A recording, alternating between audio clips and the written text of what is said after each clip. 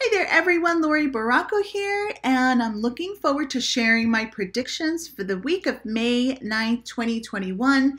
And I do want to take a moment to wish all of the moms, the mom figures, those who have taken on the roles and nurtured us as mothers and, and wise ones who have guided us through the years, wishing all of you a very happy Mother's Day. Okay, so I've got my Rider Waite deck here, and I'm going to give the cards a little bit of a shuffle, and I'm going to select three, and we will see what the collective energies are for us this week. All right, here we go. Okay. So right off the bat, the message I'm getting is for us to allow people to be who they are.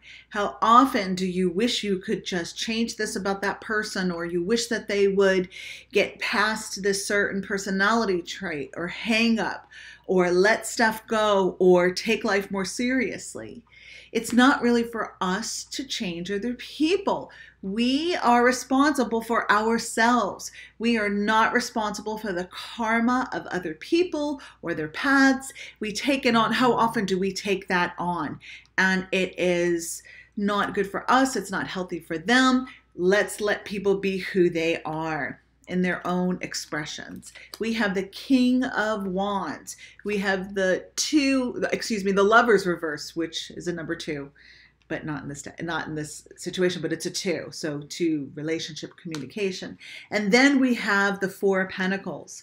So right off the bat, this guy, this King of Swords, was speaking loudly and clearly to me, saying that, hey, we got to understand where people are coming from and to not be so critical at times of their of how they're living their life and and try not to control them. Let them be themselves.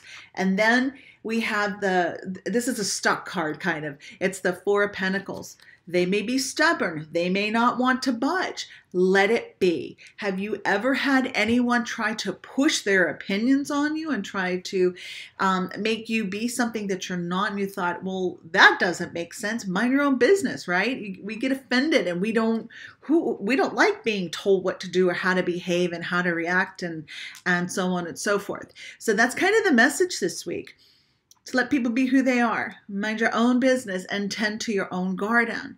Yeah, you may be seeing things differently, but it's possible that there's a lot that we're not seeing. And this is also to be flipped as well. We may have a bunch of people coming up to us, or one or two people, that are wanting to control us and suggest how we should be doing things. Our role is to try not to take that personally. Maybe take a look or investigate a little bit of what they're talking about and how we could possibly see, you know, the connection that they're making. And then we get to discern whether they're full of poop or whether there might be some truth to that. Let me just sit with this for a little bit longer, okay? So let people be who they are, try not to change people, honor them, hold space, and sometimes we have to take a step back when that happens and vice versa. And it's very possible that we're having that experience because some people are frustrated with us because they they have a different perspective and view on how things should be.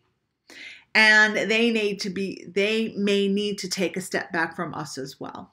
It's all beautiful, it's all divine, and I'm and I may have shared this quote before, but it's you may be the most delicious, juiciest peach, but there may be someone who doesn't like peaches, nor approves of the fact that you are a peach.